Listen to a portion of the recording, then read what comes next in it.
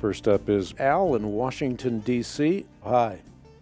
Hi, Hank. My wife and I had a debate over uh, Isaiah 45 and 7. I think King James Version says God said that He created evil. Some of the other ones say that He created calamity. I'm trying to get what the best translation for it and, and how would I try to explain that to her.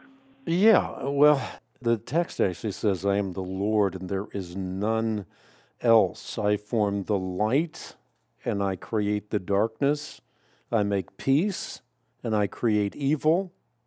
And of course, the question that that raises up in the minds of so many people is Does that make God the author of evil?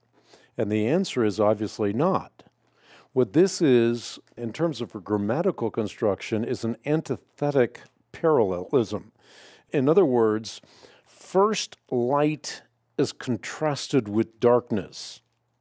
Then peace is contrasted with its opposite, which is variously rendered evil or calamity or disaster, which ultimately is judgment in response to sin. Now, obviously, God does not create moral evil. Evil is not a substance, it's not an ontological entity in and of itself. It is a lack of good.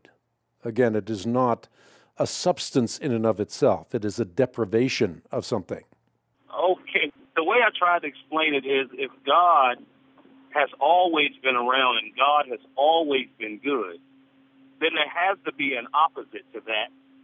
But I was trying to explain to her that there was no one around to choose sides. So if God has always been good, would that mean that evil or opposite of God has always existed out in the form of a person or a being or just the fact that it's evil? Well, no. Here's what we believe, at least this is what I believe. What I believe is that God created the potential for evil by creating humans with the ability to choose or to choose otherwise. And the very fact that God created people with the potential of choice also creates the possibility of evil. But without volition, there is no such thing as love, because love has to be of the will. Otherwise, it is not genuinely love. So God creates the potential for evil, human beings actualized that evil. But in this sense, again, we're talking about an antithetic parallelism. Light is contrasted with darkness, and peace is contrasted with its opposite. So it's contrasted with calamity, disaster, or evil.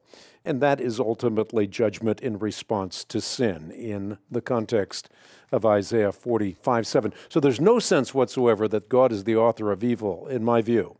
Again, there are other persuasions within the Christian community, but I do not believe in any sense this, and I think those that do believe that have a hard time distinguishing God from being evil, therefore.